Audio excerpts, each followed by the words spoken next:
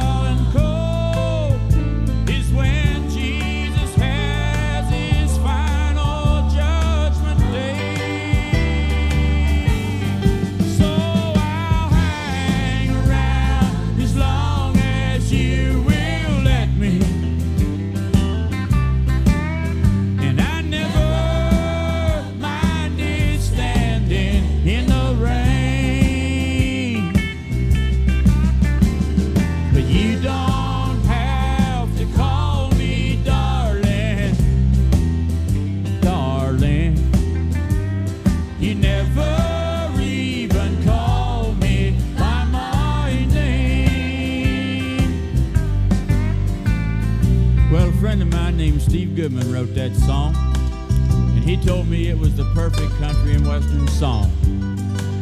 I wrote him back a letter and I told him it was not the perfect country and western song because he hadn't said anything at all about mama or trains or trucks or prison or getting drunk. Well, he sat down and wrote another verse to the song and he sent it to me. And after reading it, I realized that my friend had written the perfect country and western song. And I felt obliged to include it on this album. The last verse goes like this here. Well, I was drunk the day my mom got out of prison.